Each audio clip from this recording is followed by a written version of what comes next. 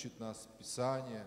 Мы молимся в первую очередь за всех людей. Просим Тебя, благослови, пожалуйста, всех людей по всему лицу мира.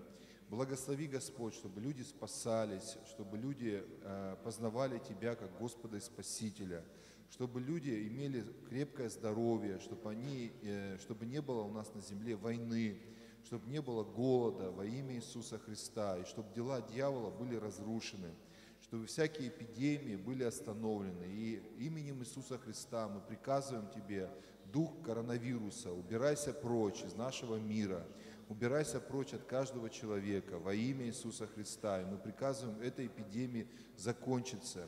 И мы молим Тебя, Господь, за милость Твою. Мы просим Тебя, дай милости, пожалуйста, э, всем людям на земле. И дай, Господь, чтобы эта эпидемия остановилась.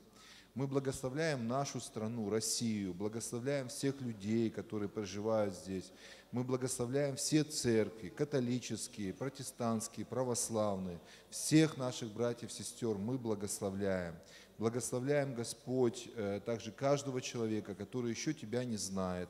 И молим Тебя, Господь, чтобы каждый познал Тебя, уверовал в Тебя, примирился с Тобой, пережил встречу, личную встречу с Иисусом Христом и был наполнен Духом Святым и ведом Духом Святым. Мы молим Тебя, Господь, за президента нашей страны. Мы благословляем Путина Владимира Владимировича. Мы благословляем все начальства и власти, все, э, всех губернаторов, всех министров, всех э, силовые все структуры. Мы благословляем медицину, образование, предпринимательство. Мы благословляем, Господь, все-все-все сферы нашего общества. И мы молим Тебя за благополучие нашей страны. Мы молим Тебя за сохранность нашей страны. Мы молим Тебя, Господь, за мир в нашей стране, чтобы в нашей стране было процветание, было изобилие, э, чтобы наша страна была впереди. Э, во имя Иисуса Христа мы благословляем, Господь, все начальства и власти светские – также благословляем все духовные власти во имя Иисуса Христа, всех людей, которые служат, всех епископов, пастырей, апостолов. Мы благословляем, Господь, всех учителей, мы э, благословляем всех евангелистов во имя Иисуса Христа. И мы, Господь, также э, просим Тебя во имя Иисуса Христа вот за нашу поместную церковь, за рост ее, за духовный рост, за физический рост – мы молим Тебя, Господь, за откровение свыше, чтобы Ты нам давал откровение. Мы молим Тебя, Господь, за прощение всех наших грехов. Мы просим Тебя во имя Иисуса Христа, прости нам и нашим братьям и сестрам, нашим женам, нашим детям всякий грех, всякое прегрешение. Дай, Господь, чтобы каждый, каждый человек, он э, примирился с Тобою во имя Иисуса Христа, имел мир с Тобою. И мы молим Тебя, Господь, чтобы мы были послушны Духу Святому, и чтобы Дух Святой вел нас по этой жизни, так как, Господь, Ты желаешь, во имя Иисуса Христа. Мы благословляем, Господь, сейчас прославление, которое предстоит. Мы благословляем проповедь, которая будет. Мы благословляем, Господь, каждого, каждого человека во имя Иисуса Христа. Аминь. Аминь. Да. Слава Богу. Давайте мы сейчас прославим Господа, да, и проходите.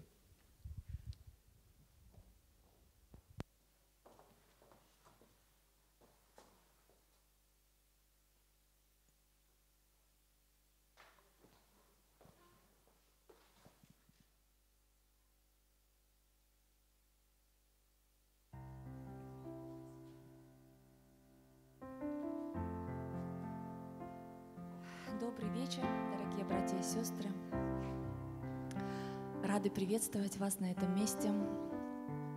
Кто знает, что Господь есть любовь? Аминь. Кто познал Его любовь? Я думаю, что, наверное, есть те братья и сестры, да, которые не, не познали. Вот. Но, может быть, где-то слышали. И, но Бог, Он есть и Он есть любовь. И, и Он отдал Своего Сына в милостивление за наши грехи, чтобы мы имели доступ к Его любви, к престолу благодати. И этот Сын Иисус Христос, наш Господь и Спаситель. И мы будем прославлять Его имя, будем радоваться, будем веселиться в Его присутствии, будем благодарить Его за все, что Он для нас сделал. И я молю, дорогой Дух Святой, во имя Иисуса Христа, чтобы Ты коснулся каждого человека, чтобы кто не познал Твою любовь. Дух Святой, коснись, открой, открой, Открой Христа, потому что Ты был послан на эту землю, чтобы соединять нас, соединять нас со Христом, соединять нас с Отцом. И мы, веруя в Него, получаем этот доступ к престолу благодати и милости. Спасибо Тебе, дорогой Иисус. Спасибо Тебе, дорогой Иисус. Наполни Твой храм Твоей любовью. Наполни Твой храм Твоей благодатью. Наполни Твой храм Твоими чудесами, Твоей силой. Наполни Твой храм исцелениями, освобождениями. Наполни Твой храм атмосферой небесного царства, в которой ты живешь, в которой ты пребываешь, потому что мы жаждем Тебя, мы жаждем познать Твою любовь, мы жаждем вкусить, какой Ты, Господь, познать Тебя больше и больше. И будем принимать эти реки живой воды от престола благодати и милости, реки живой воды. Аллилуйя.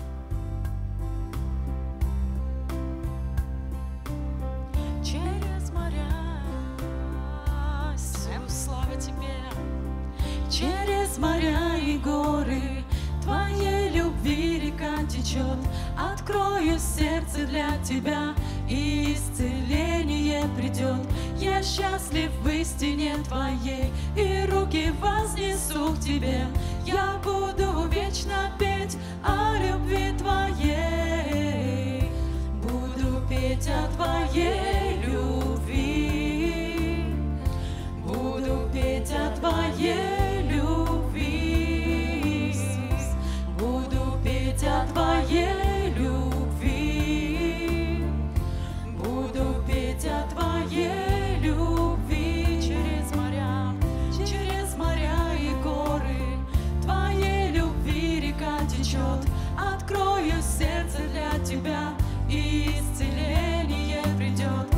счастлив в истине Твоей,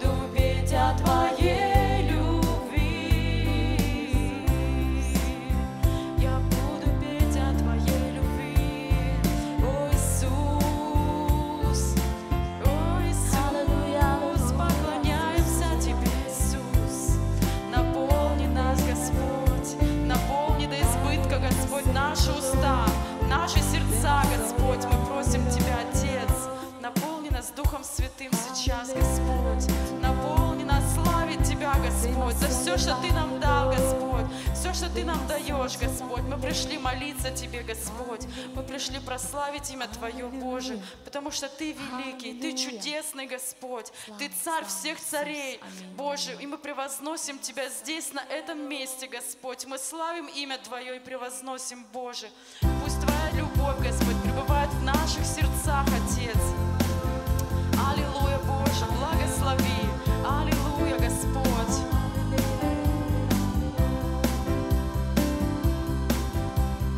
за любовь бесконечную Твою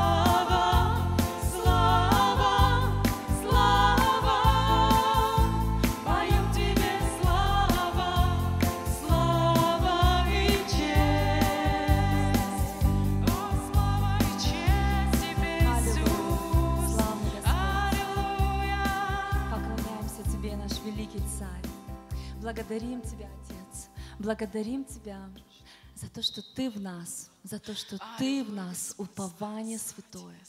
Ты, Господь наш. Мы поклоняемся Тебе.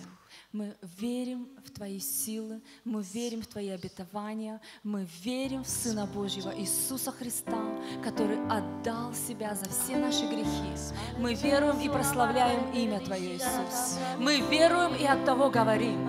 Мы веруем и от того поем. Мы веруем и от того молимся. Мы веруем и от того превозносим имя Твое, великий Бог. Ты достоин принять всю славу и честь. Ты достоин принять. Ты достоин всей славы и хвалы. Ты миросвет. Ты свет, который сошел с небес, который освещает всякую тьму. Аллилуйя, великий Бог, великий, славный Господь, благодарим Тебя.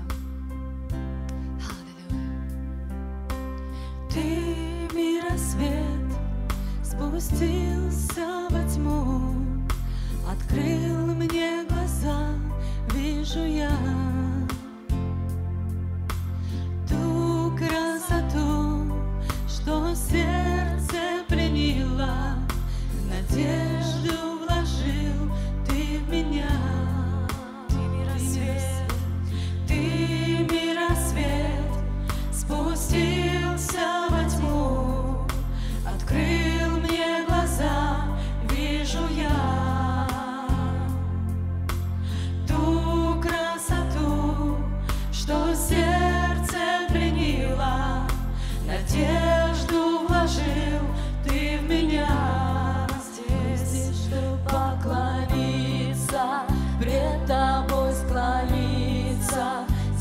здесь,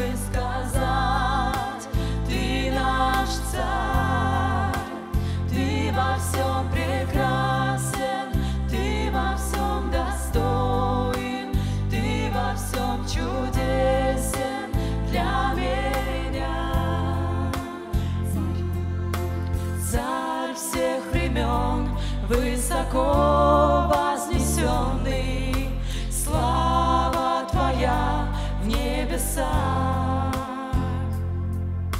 Кротко пришел в мир тобой сотворенный, ради всех нас обнищал здесь, чтоб поклониться, пред тобой склониться, здесь, чтобы сказать,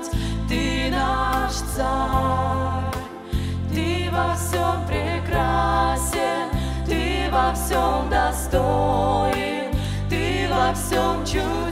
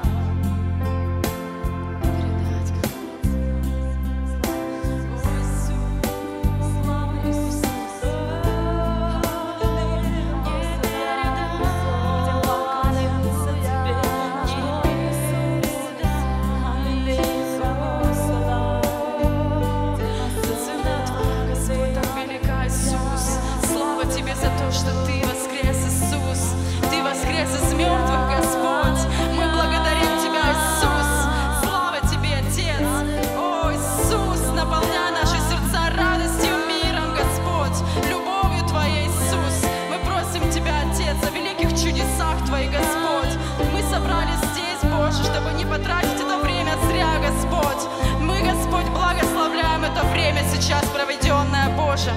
Благослови, Отец, благослови. Господь, научи нас поклоняться, Господь, в духе и в истине, Боже, как Ты нас призвал, Отец. Мы благодарим Тебя, Отец. Слава, слава Тебе, Господь, слава Тебе.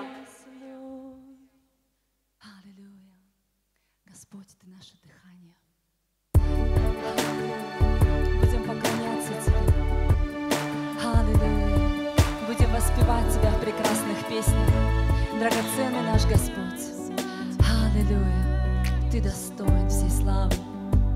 Ты достоин всей славы, Иисус.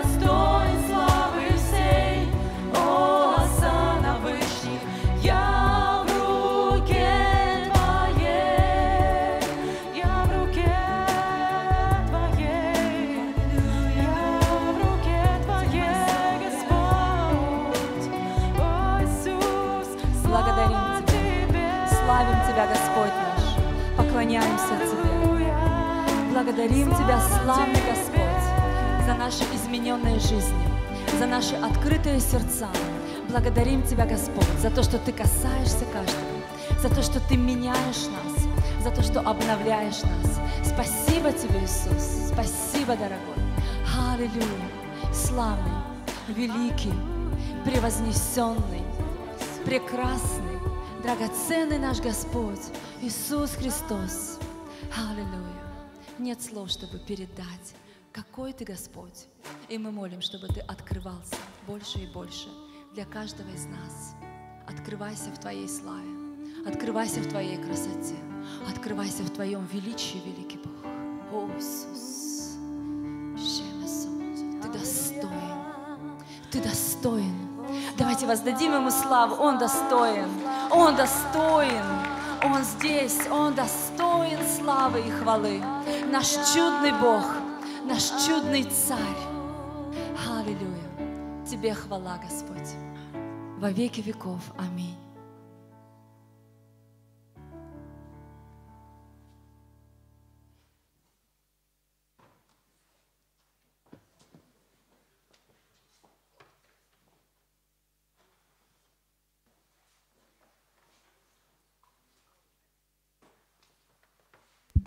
Слава Богу, спасибо большое группа прославления. Вот. И э, я хочу перед тем, как ну, проповедовать и некоторые сделать объявления, э, я э, долгие годы я в церкви не пел, знаете, вот. Ходил в церковь, но я не пел. И, ну, почему я не пел? Потому что я не певец. Ну, я считал, как, ну, я не певец, я не умею петь. Э, я когда и неверующий был, я не пел, да, то есть, э, ну не знаю, может на уроках пения в школе пел только, а так я не пел, да. Ну вот есть люди, любят петь. Вот. И мне очень помог Глеб э, Самбурский, это пастор из Израиля, живой Израиль, такая есть хорошая, очень большая церковь, это человек, который из нашего города уверовал, в нашем городе, да, и даже можно сказать, я его родил своим благовествованием, и он сейчас пастор самой большой церкви в Израиле. Представляете, вот наш череповчанин, вот такой вот э, удивительный брат. И он очень интересно и просто говорит. Ну, он у нас выступал ну, много лет, несколько лет тому назад. И он как-то мне сказал, он говорит, я не пел тоже, он мне говорит, я не пел в церкви, а, потому что я не певец. А потом, говорит, я понял, что надо петь. Ну, я говорю, и ну, не петь, я, говорит, просто стал проговаривать. Э, ну, вот, вот эти слова, песни. И, говорит, потому что я понял, что вот это песни, да, прославление, они как молитва. Э, это как, во-первых, это как молитва. То есть верующему человеку нужно молиться. И верующий человек, ну это нормально для него молиться, да, для любого верующего человека, да. То есть э, все христиане молятся, там, не знаю, буддисты молятся, мусульмане молятся. У всех есть, в любой религии, да, можно сказать, есть молитва. И, естественно, в нашей, э, ну, в христианстве есть молитва. И когда мы вот смотрим, да, специально для вас слова высвечиваются, ну и не только для вас, и для меня, конечно, тоже для всех нас, мы можем видеть и можем просто эти слова, ну если мы не умеем петь, как вот я не умею, я их просто проговариваю. Потому что я понимаю, что это, во-первых, молитва, во-вторых, это правильное исповедание. Да? И когда мы поем, мы правильно исповедуем да, вот, о, ну, о Господе, о нашем, да, мы проговариваем, да, по сути дела, Слово Божие.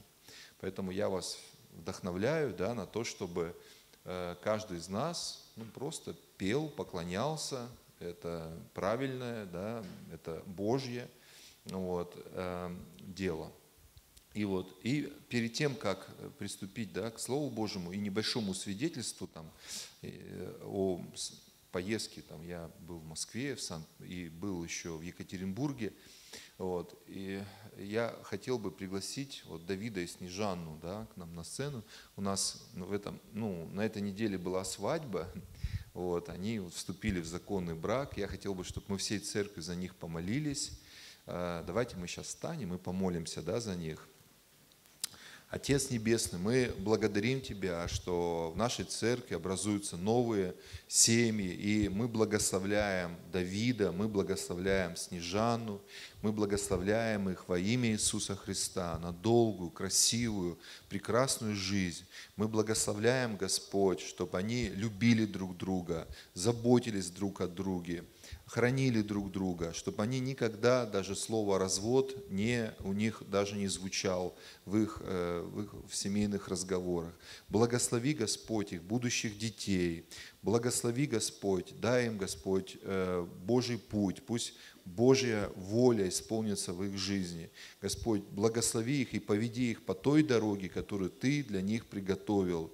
Э, самую лучшую дорогу Ты для них приготовил. Благослови их во имя Иисуса. Аминь. Аминь.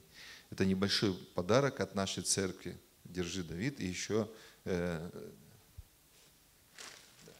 а еще вот это Снежане. Да. Пусть вас Бог благословит.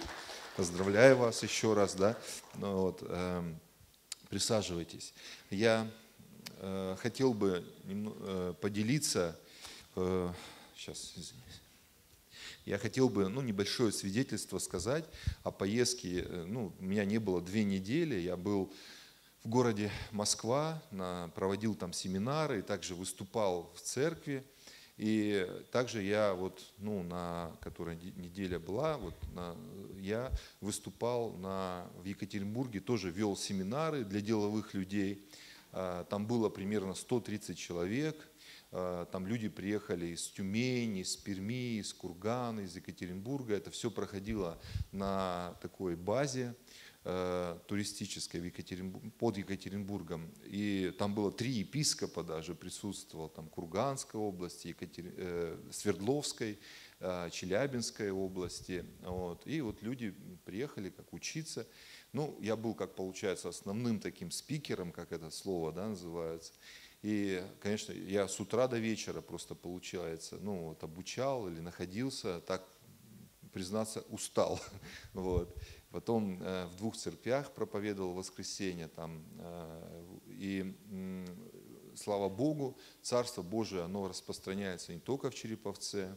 Вот. И вот от нашего объединения, ну то есть от, от Российской Церкви в Свердловской области, там есть 75 церквей, вот, в разных городах. И у них 20 э, реабилитационных центров, ну, которые вот э, помогают да, алко, наркозависимым да, освободиться от этого недуга. А, и также я был в Москве, вот хотел тоже рассказать, засвидетельствовать про парня одного, ну как парень, уже, ну, уже 40, сколько, 42, ему 43 года, но, вот, но мне так э, было приятно с ним ну, более близко познакомиться, с этим пастором. Александр его зовут. И этот человек, он про себя мне рассказал, он говорит, когда мне было 14 лет, у меня говорит, умерла мама. И когда мне было 17 лет, у меня трагически погиб отец. И мы, говорит, с сестрой остались вдвоем, одни. И так получилось, говорит, я стал наркоманом. Вот. И, говорит, в 28 лет я попал в реабилитационный центр.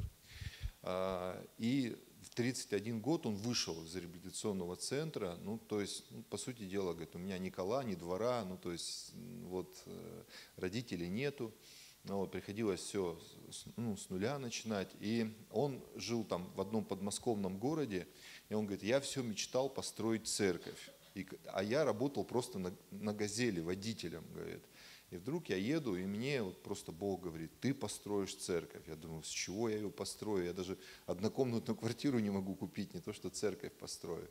Вот. Ну, на самом деле он стал заниматься предпринимательством, э, и вот так Бог очень сильно благословил, что он вот в своем городе, ну, не полностью на все деньги, но почти, ну, почти полностью он там купил, оплатил, отремонтировал здание – Потом там были обстоятельства, он ушел из той церкви, вот, и вот в Москве он создал ну, как, ну, свою церковь, стал пастором. И сейчас у него где-то 280 человек. Они купили за 50 миллионов рублей здание свое, ну вот в Москве, то есть не просто не где-то там за, ну, за МКАДом, да, а вот именно э, в, в рамках МКАДа. И у них четыре реабилитационных центра, у этого вот, ну, у этой церкви. А, и э, было очень приятно, когда ну, мы были с епископом Залуцким, и он мне дал тоже воскресенье, ну, 15 минут проповедовать. И в основном, конечно, он проповедовал. э, И когда был призыв к покаянию, то вышло 20 человек ну, покаяться. Просто я так давно не видел столько людей, только в 90-х годах, мне кажется, я видел. Представляете, 20 человек. Ну, то есть я был рад видеть ну, и быть в такой живой церкви. Знаете? То есть, и когда епископ Залуцкий сказал, а, пожалуйста, э, ну, теперь выйдите все те, кто служит в этой церкви. И я их не считал, но я думаю, что около 50 человек вышло. Понимаете? То есть вышло около 50 человек, которые служат в этой церкви. Ну, то есть кто-то ведет домашние группы, кто-то в реабилитационном центре, там, вот, кто-то э, кто занимается ну, какими, ну, разными в общем, служениями. Я даже видел одного брата, который, э, можно сказать, ну, как был бывший ну, наркоман, э, вот, и он, он говорит, вот мое служение, это я слежу за этим зданием. То есть вот говорит, вот я полностью вот за это здание отвечаю, слежу за это здание. Вот. И я хотел бы ну, вас всех ну, вдохновить да, на то, чтобы служить Богу, да, э, вдохновить каждого из нас, чтобы ну, и, и еще еще раз сказать, что я хочу и ну как пастор да, этой церкви, я хочу, чтобы у нас было много служений, знаете. Я хочу, чтобы у нас из нашей церкви вышли еще церкви. Я не хочу быть только вот все в рамках одной церкви, да, в которой мы находимся. То есть я хочу, чтобы из нашей церкви выходили пастора, служителя, то есть, да, и не только хочу, у меня есть определенный план э, для, ну, для этого. Ну, об этом я чуть позже, там, не, не в этом собрании объявлю. А, вот. И также хочу просить вас молиться. То есть э, вот я принял решение, что мы будем открывать реабилитационный центр. Вот. И у нас есть здание, ну, у, это бывший э, детский дом, где был детский дом, вот Олег Фомин долгие годы вел, но сейчас все дети выросли, вот, у нас, ну, как у меня, можно сказать, оно мне принадлежит это здание, оно стоит, э, это здание. Мы его пока не используем, и сейчас мы будем начинать, то есть служение реабилитационного центра. И, кстати, меня очень сильно именно вдохновило, знаете, когда я увидел вот этого пастора, Александра вот этого, который в Москве, о котором я вам рассказал, я ему сказал, Саша, говорю, ты знаешь, ради тебя одного можно было бы создать такой центр. Ну, я имею в виду, что, ну, но потому что он так много уже сделал, а еще сколько он сделает для Царства Божьего, только одному Богу известно, да. Но даже если бы он ничего не сделал, а просто бы спасся, то это тоже было бы очень хорошо, и слава Богу, потому что я, бывает, задаю сам себе вопрос вот такой, сколько стоит одна спасенная душа? Знаете, вот такой вопрос, сколько стоит одна душа спасенная? Я не, не знаю, то есть э, ее цена ну, больше, да, там миллиарда там, ну, рублей, э, долларов или еще каких-то там, да, евро там. Ну, то есть одна душа спасенная стоит намного, она бесценна вообще, да, то есть она просто бесценна. Вот, поэтому давайте мы будем продолжать молиться, продолжать изучать Слово Божие, возрастать в Боге. И сегодня я хотел бы э, проповедовать на тему по 22 псалму, ну, 22 э, псалом э, мы будем смотреть с 1 по 6 стих. Э, вот. Я его прочитаю вначале в синодальном переводе, а потом в современном переводе. Давайте мы послушаем. «Господь пастырь мой, я ни в чем не буду нуждаться. Он покоит меня на злачных пажитях и водит меня к водам тихим. Подкрепляет душу мою, направляет меня на стези правды ради имени своего. Если я пойду и долиной смертной тени, не убоюсь зла, потому что ты со мной, твой жезл и твой посох, они успокаивают меня. Ты приготовил передо мною трапезу, виду врагов моих, умастил елеем голову мою, чаша моя преисполнена. Так благость и милость Твоя да сопровождает меня во все дни жизни моей, и я, буду, э, я прибуду в доме Господнем многие дни. А сейчас я прочитаю в современном переводе, да, Э, Псалом Давида. «Господь пастырь мой, я ни в чем не буду э, нуждаться. Он покоит меня на зеленых пастбищах и водит меня к тихим водам. Он душу мою оживляет и ведет меня по пути праведности ради имени своего. Пусть э, пойду в темноте долины смерти, но не устрашусь я зла, потому что ты со мной, твой жезл и твой посох, они успокаивают меня. Ты приготовил мне пир на виду моих врагов, умастил мне голову маслом, и чаша моя полна. Э, так, э, так благо и милость да будет со мной во все дни моей жизни, и прибуду я в доме Господнем многие дни. И мы вернемся снова к синодальному переводу, да, вот. Я хотел бы вот этот псалом как бы разобрать, чтобы мы с вами да, ознакомились с этим псалмом. И первое место, что «Господь пастырь мой, я ни в чем не буду нуждаться». И э, я, вот Господь мой пастырь, то есть я ни в чем, да, ни в чем вот это слово, если Господь твой пастырь, на самом деле, или мой пастырь, или твой пастырь, то на основании Слова Божьего ты ни в чем не будешь нуждаться, если по-настоящему Господь твой пастырь, да, потому что Он, Господь заботится о всех сферах нашей жизни. Он заботится о нашем физическом состоянии, о нашем душевном состоянии и о нашем материальном состоянии. Да? В Библии очень много говорится о деньгах. А, а, Слово Божие говорит много а, о том, что, особенно в Ветхом Завете, что Бог благословит. Да?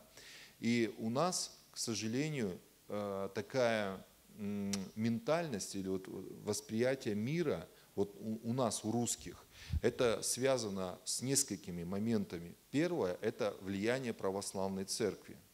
Я, я сейчас, я, я не хочу да, никого э, ругать, ничего, но просто э, такой Владимир Познер есть, э, журналист, ну и там еще ряд людей.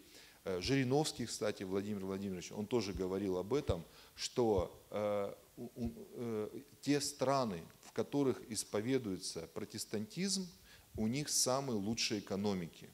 То есть это Америка, Канада, Швеция, Германия, Франция, Южная Корея, в которой более 40% или 60% населения – это евангельские христиане. То есть это просто констатация факта. Я никого-то ругаю или никого-то ну, хвалю.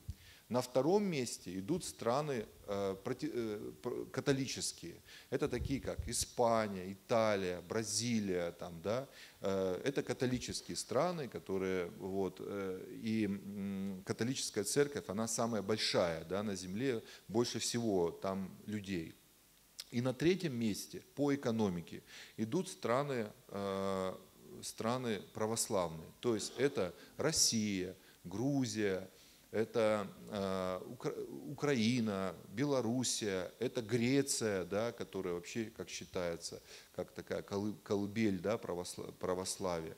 То есть вот э, и в этих странах экономика, она ну, хуже всего. И у нас э, есть, знаете, такое, два момента я сказал. То есть у нас есть наследие православное, в нас оно, потому что наши дедушки, прадедушки, они были православными людьми, да, в большинстве своем. Ну, у кого-то они были вообще неверующими, ну, по-разному.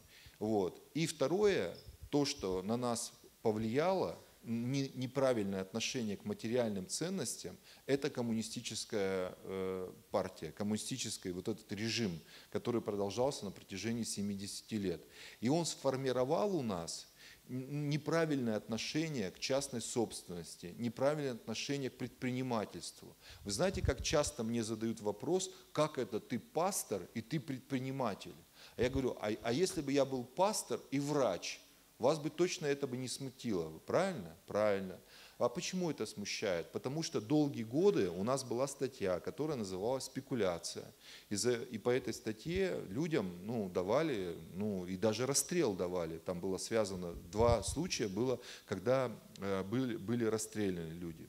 Поэтому э, нам нужно осознать и об- обновлять свой разум.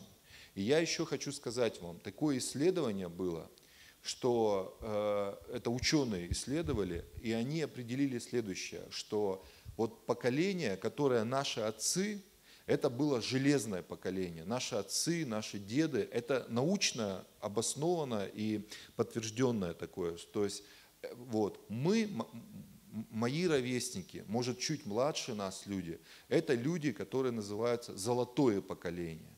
А современное поколение, которое поколение гаджетов и телефонов вот этих всех, это называется поколение снежинки.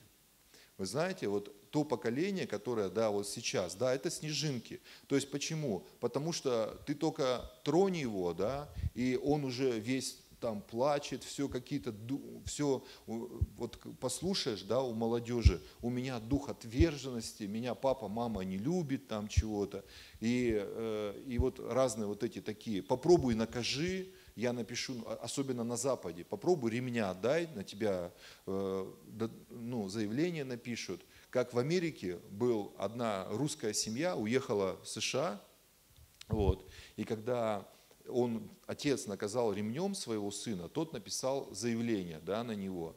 И, э, и его привлекли в полицию, чуть не посадили. И тогда отец, он берет да, и говорит, поедем на родину, в, э, в Калугу, вот, собирает своих всех детей, вот, собирает э, ну, жену свою, и они садятся в самолет и приезжают в Россию, и дети думают, что они в гости приехали. Вот. И, он, и, он, и он берет паспорта эти, рвет просто американские, говорит, все, до свидания, больше, больше мы туда не вернемся. И он прямо в аэропорту взял сыну, всыпал ремня, знаете. И вот, и к нему этот милиционер подходит, ну вот, говорят, реальная история, говорит, ты что, тут прям в аэропорту? А он говорит, вот на меня заявление написал там, вот. Он говорит, да? Он говорит, всыпь ему еще. Э, этот полицей, ну наш милиционер сказал, знаете, ну это может лет 15 назад было. Мой отец рассказывал, вот он здесь присутствует, он говорит, когда-то было, что, говорит, там мальчик какой-то пришел со школы, и э, ему, и он сказал, что учитель дал ремня, вот. И отец взял ему, всыпал еще и сказал, ах ты такой, это ты так довел учителя, что он тебя вынужден был дать тебе ремня. Вот. И сейчас, секундочку.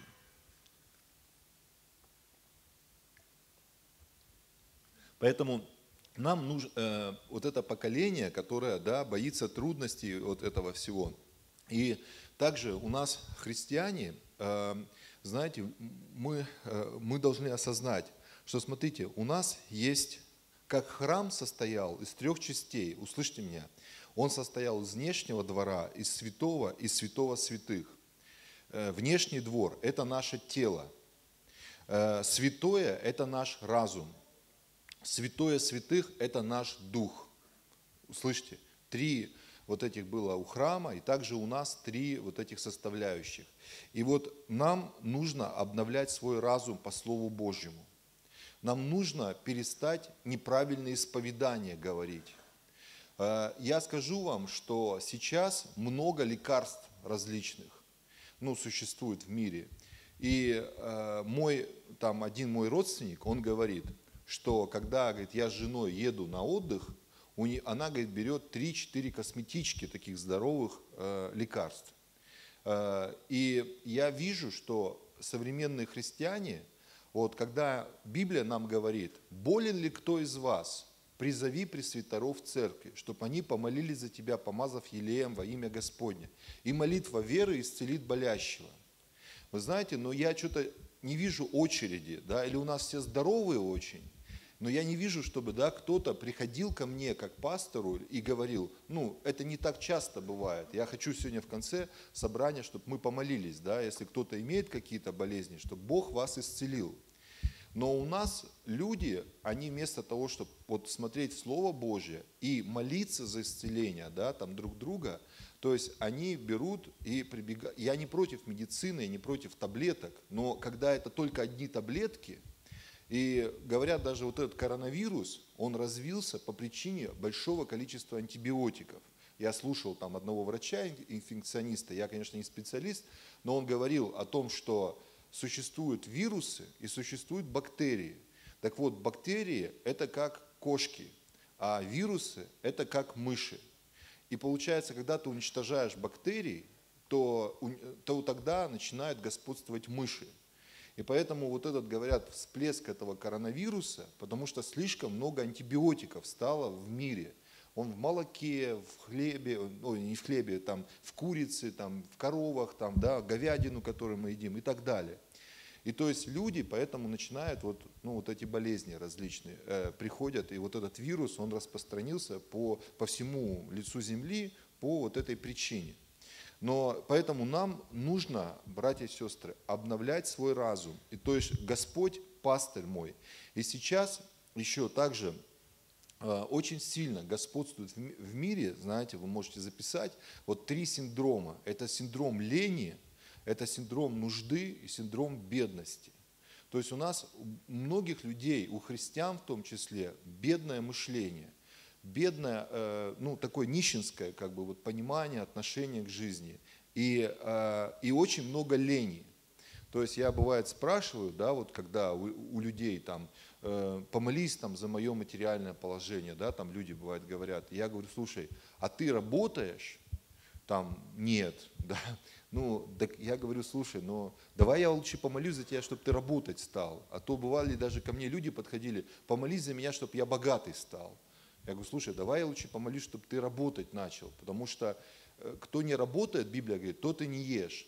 И э, я вижу, как э, апостол Павел, он писал, да, что я, говорит, работал день и ночь, чтобы никому не быть в тягость, да, что я трудился, делал, ну, работал там, день и ночь, говорит, работал, да, но при этом он написал пол Нового Завета – и он столько церквей насадил, он делал много духовной работы, но при этом он работал. Поэтому, если ты ведешь домашнюю группу, это еще не значит, что тебе не надо работать. Понимаешь? То есть это ну, говорит о том, чтобы нам, ну, нам нужно поменять свое мышление. И нам нужно обновлять свой разум по Слову Божьему. То есть, как говорит Слово Божие, смотреть, что говорит Слово Божие, делать, как говорит Слово Божие. Правильное исповедание должно быть в нашей жизни. Мы не должны исповедовать, что мы бедные, мы не должны исповедовать, что у нас кризис там какой-то, знаете. Мы не должны исповедовать, что в жизнь там своих детей, что он там неудачник или еще какой-то, да, говорить какие-то слова. Одна мамочка ехала в колонию, знаете, к своему сыну – и вдруг она вспомнила, говорит, когда я в детстве, говорит, он рос, я всегда ему говорила, тюрьма по тебе плачет, знаете. Ну, она вот потом уверовала, то есть нельзя такие вещи ну, говорить да, там, в жизнь там, ребенка, в жизнь там, своего, своего мужа или своего э, пастора и так далее, или кого-то. Да? То есть нужно правильное исповедание иметь, да, чтобы Господь мой пастырь.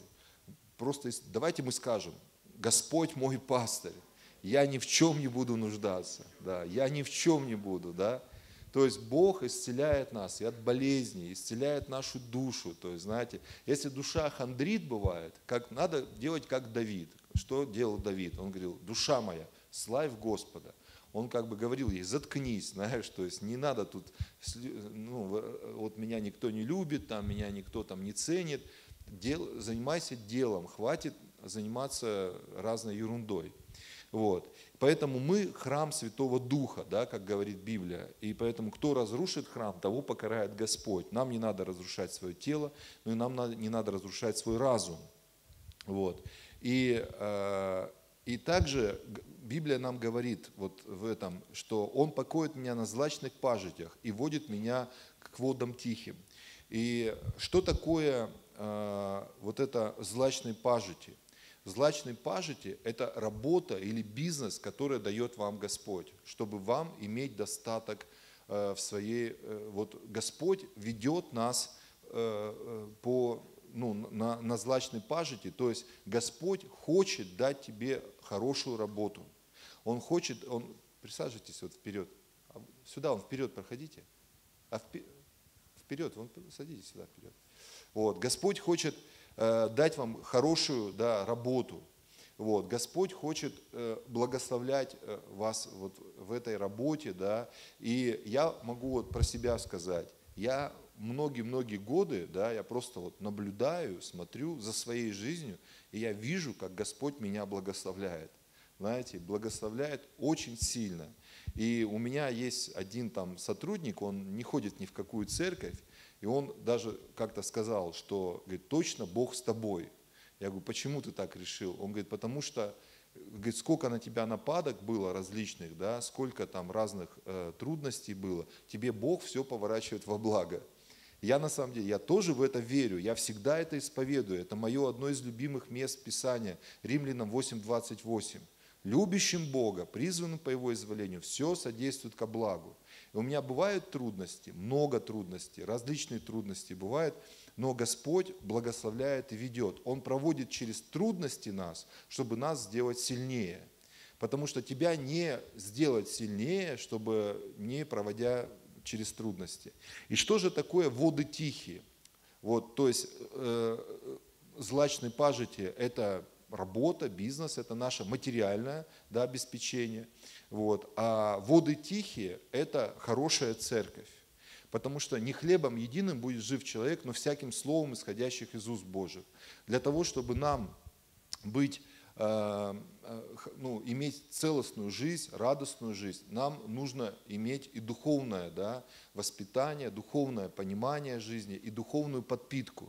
И Бог дает хорошую церковь, да, и дает слово да, нам, чтобы наша, э, чтобы, и, и приводит нас вот к водам тихим, чтобы мы могли напитать наш дух Словом Божьим. И церковь это, вот, это где мы получаем исцеление, освобождение от, от бесов. Э, церковь или вообще вера в Бога, да, отношения с Богом дает смысл жизни. И самое главное, вот за что я очень сильно держусь, оно дает спасение души. Потому что я все равно понимаю, что когда-то я умру. Но я знаю, что если я сегодня умру, я пойду на небо. И я храню это, да, храню свою веру в Иисуса Христа. Я храню то, чтобы э, быть, э, э, быть веру, верующим человеком. И это для меня не просто какая-то, знаете, ну, некоторые люди там верят ну, только когда им трудно, наверное, да. Вот. Я верю постоянно, потому что мне, во-первых, это наслаждение доставляет, отношения с Богом, общение с Богом, но также еще я э, знаю, что если я потеряю свою веру, то есть я потеряю, я не хочу потерять вечную жизнь. Понимаете? То есть я не хочу остаться неспасенным, не, э, ну, не, э, не хочу э, иметь душу, ну, видеть свою душу в, в аду. Да?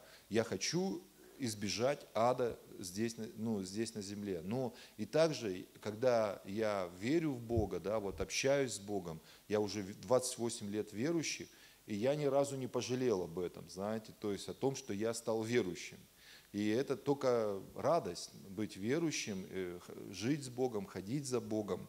Вот. И Господь э, дает, ведет нас, и Он наш пастырь, и Он приводит нас на злачный пажити, который дает нам материальное да, обеспечение, и Он также дает нам духовное, душевное да, вот, э, обеспечение. И потом Библия говорит, что Господь подкрепляет душу э, нашу и направляет нас на стези правды ради имени Своего. То есть Он каждый день э, заботится, да, и вот недостаток праведности, он направляет меня на, э, ну, недостаток праведности, святости в жизни человека, он приводит его к такому ну, дисбалансу всей жизни. Ну, я сейчас объясню. Много лет тому назад, я вот, когда Давид со Снежанной женились, ну, вот была, да, вот на этой неделе, я даже им сказал эти слова, я, я их повторяю, я, я знаю, что я говорил. Много лет тому назад э, я э, был еще не женат, и была одна в Москве конференция. И я с одной, ну, сестра во Христе э, был, я подошел к одному такому пожилому англичанину. Э, и вот и этот англичанин, он подумал, что мы муж с женой. И он так посмотрел на меня, я, его, ему было, наверное, 80 лет, может даже больше, там, знаете, ну, это было 90, наверное, какой-то третий год, 94-й. Он посмотрел на меня и сказал, вот, говорит, запомни, на первом месте у тебя должен быть Бог и, э, и служение Богу, да, на втором месте у тебя должна быть семья, и на третьем месте у тебя должна быть работа. Говорит, не перепутай вот эти, ну, вот, вот эти места, то есть когда, если ты перепутаешь, да, вот это, и у тебя Бог будет не на первом месте твоей жизни, то у тебя будет дисбаланс твоей жизни. Ну, будет, ну, будет много разных там, ну, неприятностей и так далее. Вот. И вот это, и Господь нас ведет по пути праведности. Он хочет, чтобы мы праведно жили, знаете. Он, он добрый пастырь, и он понимает, вообще Давид, который писал этот псалом, он был пастухом. И он знал, что такое быть пастухом. И добрый пастух, он куда приводит своих овечек? Он водит ее на, на, на лучшее э, пастбище, где самая лучшая трава. Он водит, где самая чистая вода. Он бережет своих овечек, да? И э, то есть у пастуха, у него даже вот, если посмотреть, есть такие картинки, да, у него такая палка, у него она как бы с закруглением. То есть если овечка куда-то убегает, он просто ее хватает, ну как бы подтягивает к себе, то есть ловит ее, да, эту овечку. И э, он заботится, да, о, о своем э, стаде. И он прекрасно понимает, что если овечка отбивается от стада и начинает куда-то уходить далеко от стада, то что с ней происходит? Ее просто съедают волки. Потому что если она отбивается. И я слышал такое, что говорят, что когда пастух, он берет овечку, и э, маленькую, если овечка убегает часто от стада, он берет ей, надламливает ей ну, ногу, одну лапку, перематывает ее потом и на закукрах у себя носит ее несколько дней. И после этого овечка не, не отходит от, от него.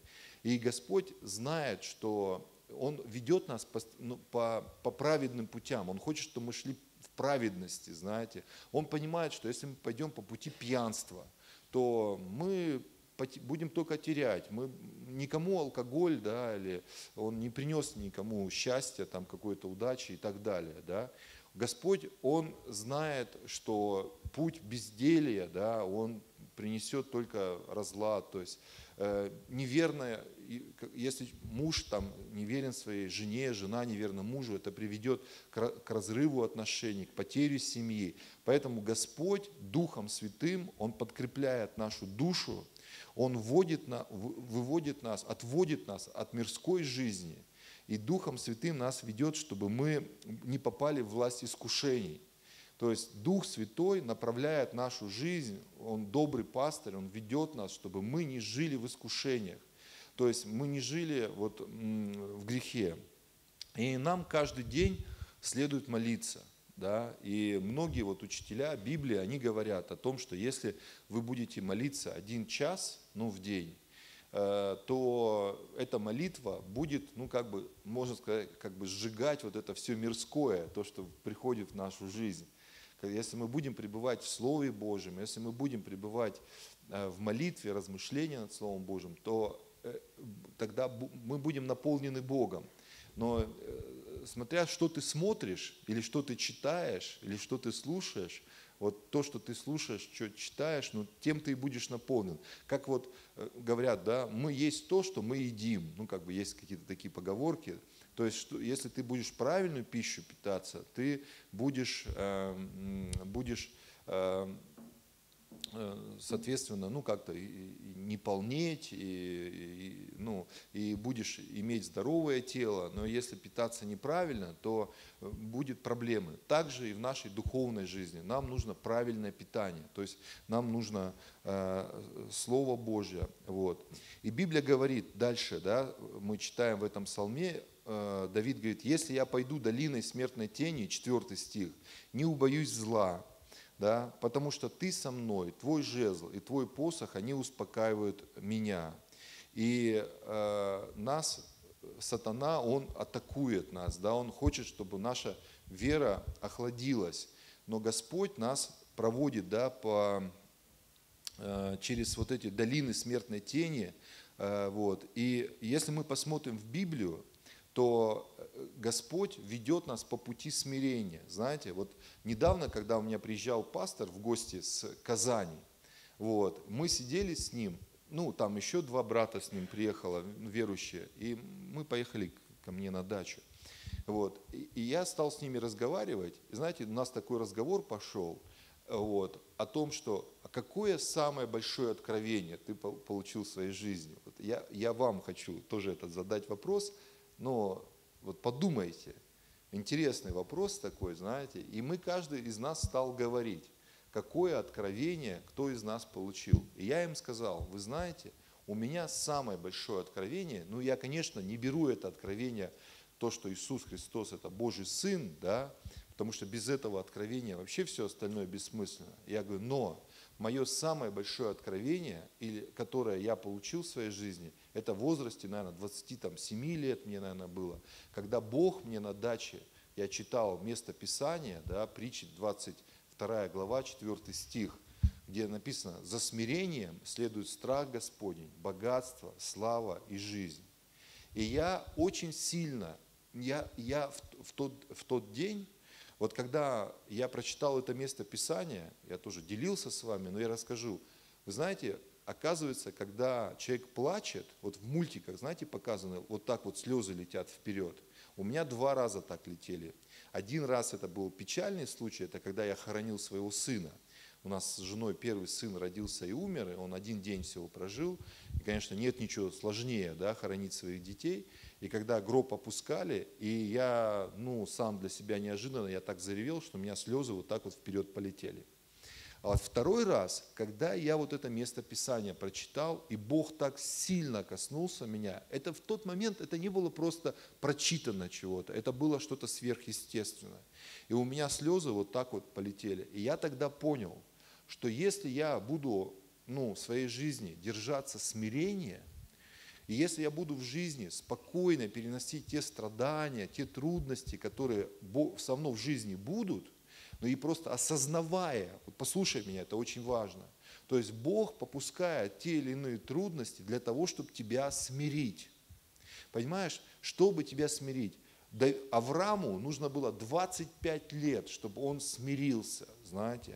Исаак, он смирил, смирился у горы Мари, Мария, да, когда он, но он до этого, там, столько у него было разных испытаний. Иакову нужно было 20 лет, чтобы смириться. Иосифу, чтобы смириться, ему нужно было пройти, э, знаете, просто вот тот э, ров, в который его бросили его братья, на самом деле это не был просто какой-то ров, это был его трамплин в премьер-министры самой могущественной страны того э, мира. Глазами мира смотреть, как это может так быть, что Библия говорит нам, и Бог был с Иосифом, знаете, в рве, потом в тюрьме, в доме Патифара, опять пишется, Бог был с Иосифом. Он попадает в тюрьму, да, просидел там ни за что парень, да, можно сказать. И Библия говорит нам, Бог был с Иосифом опять. Подожди, как Бог с Иосифом, если вот эти трудности да, разные? Братья и сестры, Бог проводит через трудности нас для того, чтобы нас смирить, научить. И Моисею нужно было 40 лет пройти в пустыне, 40 лет он был как царский сын, да, воспитывался, а потом он 40 лет он прожил в пустыне, пока он не встретился с горящим кустом, да, через которого ему Бог стал говорить. И он не смог бы, да, вот если бы он не был бы настолько смиренным бы, то он не смог бы э, э, вот, э, достигнуть да, тех результатов в своей жизни, которых он достиг. Поэтому верующие многие, особенно вот поколение снежинки, как называемое, да, или может золотое поколение, э, железное поколение, оно не так сильно да, депрессует из-за каких-то сложностей, а вот особенно современное поколение, какая-то сложность уже, все, он уже пугается, уже депрессует, где же Бог, почему Бог это допустил? Да потому Он допустил, чтобы тебя смирить. Понимаешь, потому что за смирением следует страх Господень, богатство, слава и жизнь. То То есть, ну, вначале должно смирение прийти в твою жизнь. Смирение так само по себе не приходит. И никогда не молись такой молитвой, что Бог, э, смири меня, знаете, потому что Бог, может, тебе таких, да, ну, но Он не будет тебе чего-то, да, может и пожалеть о такой молитве. То есть нам следует э, осознать вот это, что Бог ведет нас по пути, Он ведет нас по пути, да, и вот как сказано в этом четвертом стихе, если я пойду долиной смертной тени, я не убоюсь зла. Он говорит, и Давид ходил э, э, долинами смертной тени, да, и я вот помню, знаете, когда он, один город, да, он пришел, а, или точнее, когда он убежал от Саула, и он пришел, да, и по сути дела он обманул там священника, ну там, когда он меч Давида забрал, там, э, ой, Давида, извиняюсь, э, этого Голиафа он забрал, да, и Саул узнал, что, и он отправил, и всех этих священников э, убили, да, я, я, я, я потом думал, да, я о Давиде вообще много, часто думал и думаю, я думаю, как потом с этим жить? Ну, когда вот из-за тебя, да, убили такое количество людей, то есть из-за тебя, из-за того, что ты там что-то сокрыл и так далее. То есть и Давид, у него было, он был на грани смерти, в буквальном смысле слова, столько раз. И если подумать, у него собственный сын восстал против него, да, Весолом. И у него гражданская война началась в, этом, ну, в его государстве. И у него этот сын взял, обесчестил, изнасиловал э, десятерых там, наложниц своего отца. Причем сделал это публично, там, на крыше дворца, там, поставил какую-то палатку. А потом 20 тысяч человек погибло да, вот в, той, э, в той гражданской войне из этого сына, э, э ну, из-за Авесолома, да, который до этого убил его же сына Давида, Амнона, да, то есть как, ну, кто знает Ветхий Завет, то есть я, ну, извините, может, кто-то не так хорошо знает, но, в общем, я просто как бы, ну, чтобы для экономии времени, чтобы я не говорю это подробно, но, то есть у него была сложная жизнь, у Давида, то есть вот если вот так сказать, ой, Господи, дай мне такую же жизнь, как у Давида, да Боже упаси, понимаете, Боже упаси, у него была очень сложная жизнь, очень трудная жизнь, но, это, но Бог называл его человек по сердцу моему. И Бог вел его, да, и он вел его вот этим жезлом и так далее. И он говорит дальше, пятый стих. «Ты приготовил передо мной трапезу, веду врагов моих». Вот. И э, умастил елеем голову мою, чаша моя преисполнена. И Господь, э, Он приготовил да, трапезу виду, э, виду врагов. И э, у меня было тоже много ситуаций, у меня, ну, просто там из-за экономии времени я не буду рассказывать, ну, там долго рассказывать, и не, не все будет понятно, но, э, то есть, когда у меня какие-то возникали, люди, которые люди, да, восставали против меня, и, и помню, э, ну я одну из историй расскажу, хорошо так. Э, вот. Много лет тому назад, вот, в 90-х годах, на меня наехали бандиты. Вот. И так серьезно наехали, очень серьезные бандиты с оружием, там все. Вот. И я, помню, шел вот здесь вот по Луначарского, вот этой улице, не Луначарского, вот, ну, а, ну, без, ну, неважно, вот тут вот, недалеко. Я иду вот так вот, знаете, и помню, и, и у меня страх, у меня страх этот месяц, наверное, знаете, сопровождал. Вот, я иду и, и, и думаю, вот бы мне знать бы начальника полиции, ну был бы мой отец начальник полиции, мы бы сейчас бы этих бы пинали бы бандитов уже бы, да, в этом подвале бы и говорили, ага, попались разбойники, да. Вот, или думаю, вот знал бы я того бандита бы, вот, ну там я некоторых знал, и думаю, сейчас бы я сидел бы, они сказали, ну что, на кого наехали, ну как бы заступились бы за них. А у меня страх такой, знаете, все. Вот. Я иду по этой улице, и вдруг, я помню даже место, вот тут недалеко от пединститута у старого, и мне такой Господь говорит, ну слушай, зачем тебе начальники милиции какие-то, зачем тебе ОМОН? Говорит, я Бог, который сотворил землю, и небо и землю, я защищу тебя, я твой защитник. И у меня, знаете, такое спокойствие пришло. И через время, на этой же улице я иду, и эти бандиты едут, и меня хоп, ну не то, что они меня поймали, они просто в машину пригласили. Приехали мы туда к реке. Они меня тоже, вот, давай деньги, давай деньги. Я говорю, Библия говорит с бандитами не делиться. Они такие, вот, ну не знаю, что я им, в общем, они говорят, мы сейчас тебе пальцы отрубим, говорит, на руках и развесим, говорит, на ветках. Я так сразу, у меня ну, хорошее воображение, сразу представил, как меня мои пальцы такие висят, ну, на, на ветках, как елочные игрушки. Ну, вот, такая не очень хорошая картина была. Вот. И, в общем, они ну, угрожают, угрожают, все.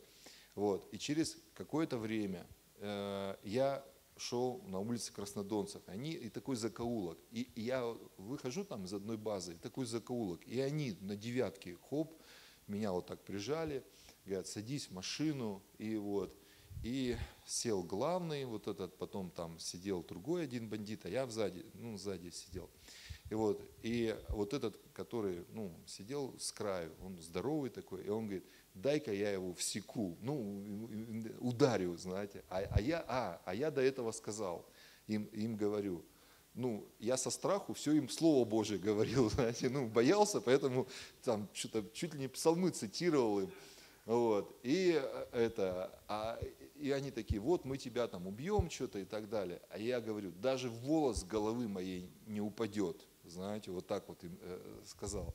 Я говорю, Бог сказал, что даже волосы все у меня на голове сочтены. И вот этот один из бандитов, он тянет руку через главного ко мне, дай-ка, говорит, я ему волосинку выдерну.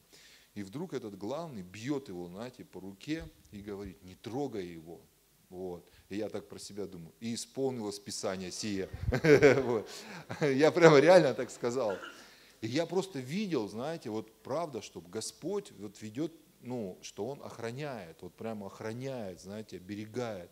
Вот. И потом один из этих бандитов, который на меня ну, наезжал, вот, у него, а, а, и вот чем у меня история, и они с меня требовали 2000 долларов, в общем.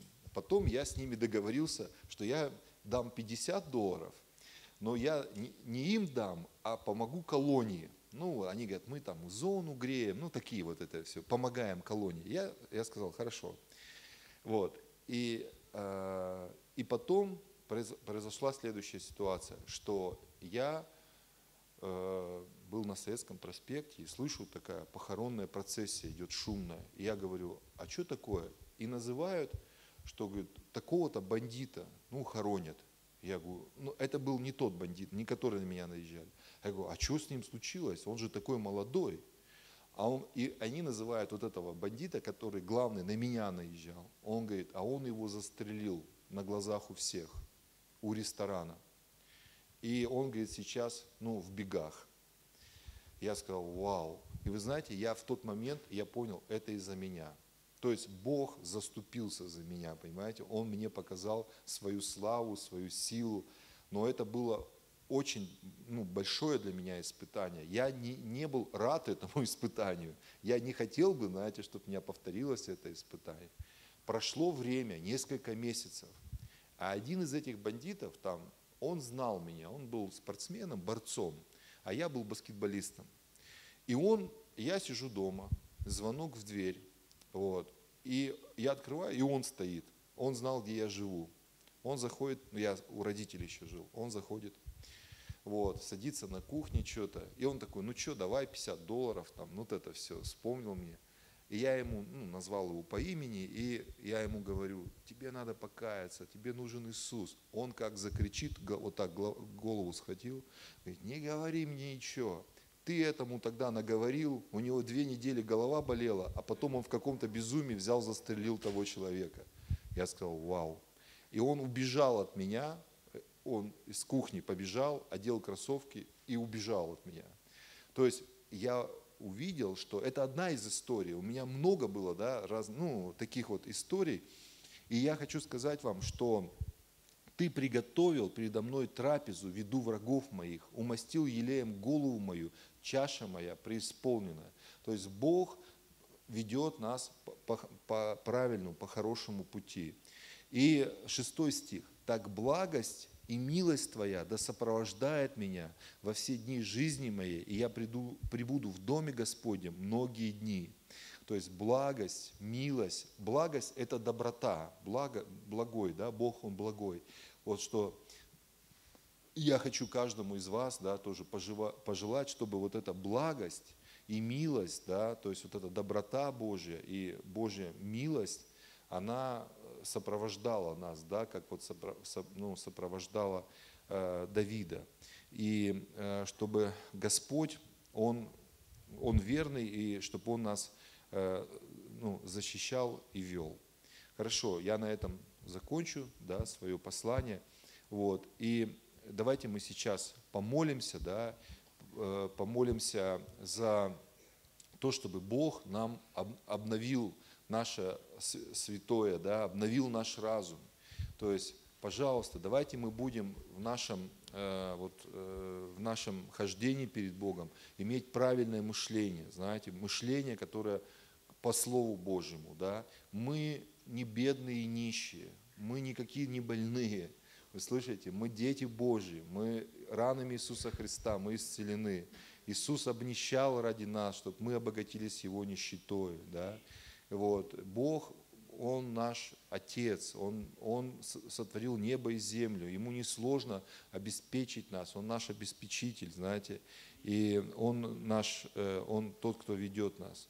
И я также хочу вам да, вот сказать, что, знаете, есть семь имен Бога, и одно из, ну я три имени назову, да, что одно из э, имен и э, Иегова Ира, да, это Бог усмотрит, усматривающий, Бог усматривающий. То есть Бог усмотрит все в нашей жизни, да, и Он знает все, и Он знает наши печали, радости, Он ведет нас. И если посмотреть на жизнь Моисея, тоже, да, он имел много трудностей, но Бог был с ним, и он выполнил да, ту миссию, которую Бог для него приготовил.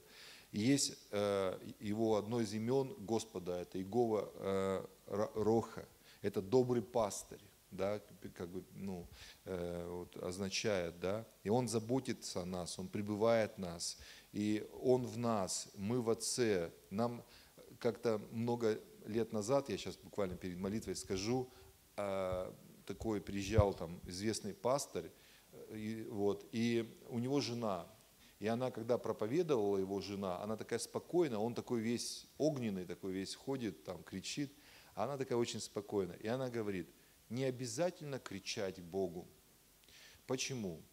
Потому что, говорит, Он же внутри нас, Он же слышит нас. Мы можем даже с шепотом сказать, мы в Отце, э, ну, то есть мы во Христе, Христос в Отце, ну вот, э, вы во мне, да, Иисус говорил. И еще, э, и, э, то есть, и его, и одно из имен тоже, Иегова Шамма, это присутствует в нас, то есть обозначает, то есть Бог, Он живет в нас. То есть я прошу вас всегда об этом помнить, что Бог живет в нас, да, и Он не где-то далеко, Он не где-то в космосе, как некоторые представляют это, а Он в нас – мы храм Его Духа, да, и Его Дух живет в нас.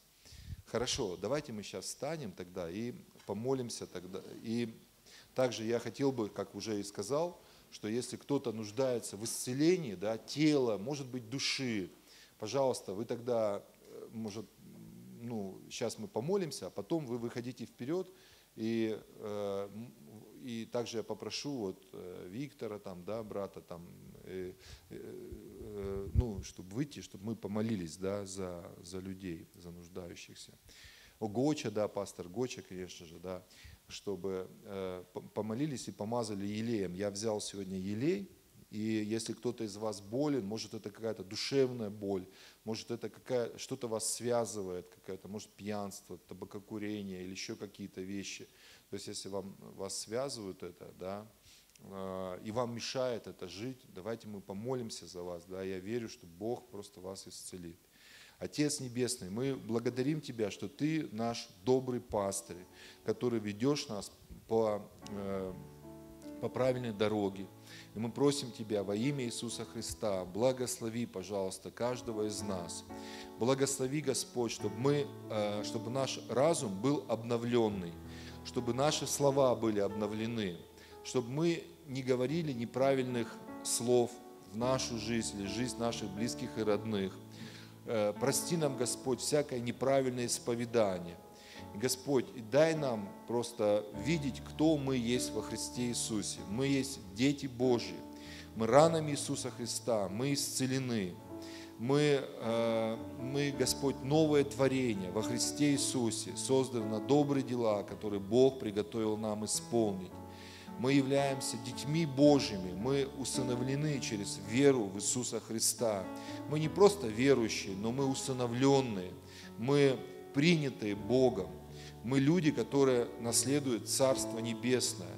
И это Царство внутри нас есть. И это Царство, которое э, мы, когда оставим эту землю, мы пойдем в это Царство. Господь, во имя Иисуса Христа мы просим Тебя, благослови наши жизни, исцели наши жизни. Дай нам, Господь, не переживать ни за какие трудности, которые Ты попускаешь до нас, э, чтобы мы проходили через эти трудности. Во имя Иисуса Христа. Дай нам, Господь, не, не э, осознать, что когда Ты нас проводишь через те или иные трудности, Ты проводишь это для того, чтобы нас смирить. Господь, и мы сейчас смиряемся перед Тобою, и мы говорим, не наша воля, но Твоя да будет. Во имя Иисуса Христа мы в этой молитве также просим Тебя за всех наших братьев, сестер, которые сейчас болеют. Мы просим Тебя, прикоснись, Господь, Твоей исцеляющей силой. И прикоснись к тем, которые сейчас нету с нами, кто, может, на больничной койке находится сейчас. Прикоснись также к тем, которые сейчас здесь находятся. И, Господь, я прошу Тебя, сейчас мы будем молиться за людей, за тех, кто болен чем-либо или какую-то душевную имеет боль. Господь, я прошу Тебя, будь милостив каждому нашему брату и сестре и дай полное исцеление во имя Иисуса Христа. Дай разрушение всех дел дьявола, всех твердин дьявола э, в жизни каждого из нас во имя Иисуса. Благодарим Тебя за все и славим Тебя, Отца, Сына и Святого Духа. Аминь. Аминь. Давайте, если кто-то нуждается да, в исцелении, пожалуйста, это пастор Гоча, ты тоже выходи, он Виктор Павлович тоже, этот, э, вот тоже, э, если кто-то нуждается, да, чтобы, и где Виктор, этот, тоже Богданов, пусть он тоже придет, и ты тоже приходи, тоже, сейчас, сейчас. Да. Да, да, да. Да, да. Сейчас мы помолимся тогда. Хорошо. Яна, у нас будет прославление? Да, сейчас.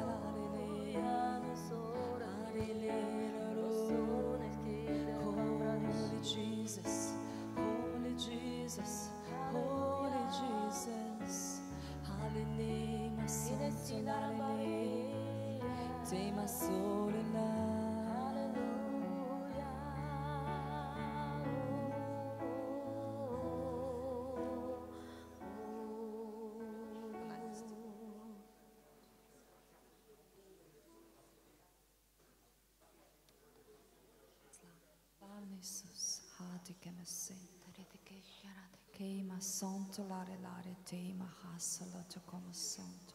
Slavni, slavni, slavni Jesus. Holy, holy, holy Jesus. Holy Jesus.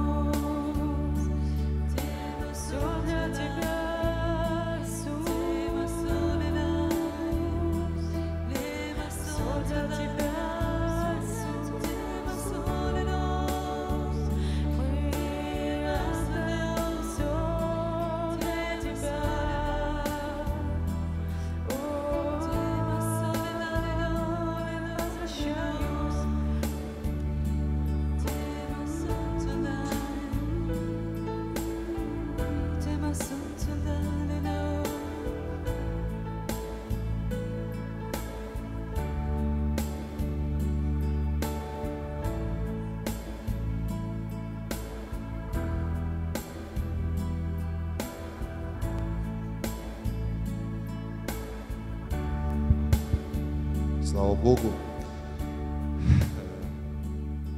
Наше собрание подходит к концу, да, и э, я хотел бы ну, сделать объявление. У нас каждое, ну, каждый день, у нас воскресенье, у нас э, здесь утренняя молитва с 7 до 8 утра. Пожалуйста, приходите, да.